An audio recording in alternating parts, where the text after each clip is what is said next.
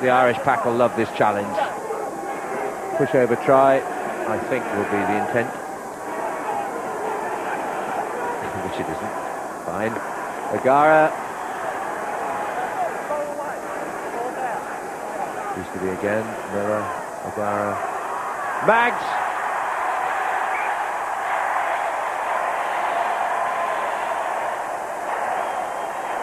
Or was it O'Driscoll who came on the charge at the last moment? I think. Yeah, it was. Brian O'Driscoll. Smile at last from the young man, his 19th try. I hasten to add, we are a million miles from the pitch. I wasn't looking at the monitor. And Brian O'Driscoll has not been awarded the try. So it might be one now.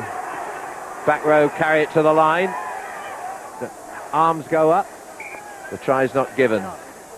Is that the right smile of O'Driscoll then, that he actually didn't ground it? I, I, think he just lost control of the ball as he as he went over. And well, here we go. Video referee. Now then, the back row took it to the line. Had they reached the goal line? Obviously on the line is the try, and now Corné Powell, Namibia, the captain, in place of Sean Furter. Here we go. You can make a judgment here, as if you were the uh, TV referee. Well, that seems all right, doesn't it? Well, on the line is a try. Exactly. That doesn't show anything, really.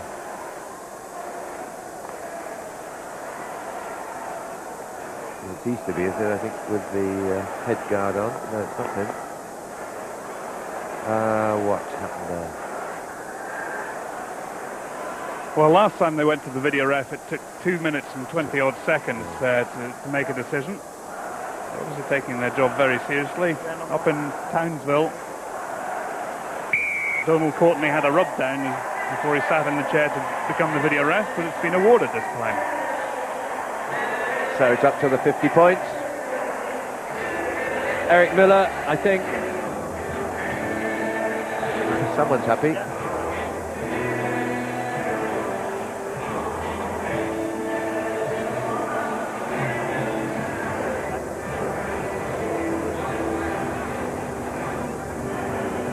So his second try of the evening. Happy man. Satisfactory for Ireland. 50 points to 7 in these conditions. Difficult to play fluent, error-free rugby in uh, a torrential downpour from start to finish.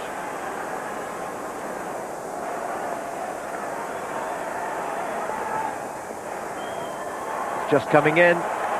No, goal kick. Yeah, it's been an impressive display because that again was wide out. That was off the five metre line. He's only missed two.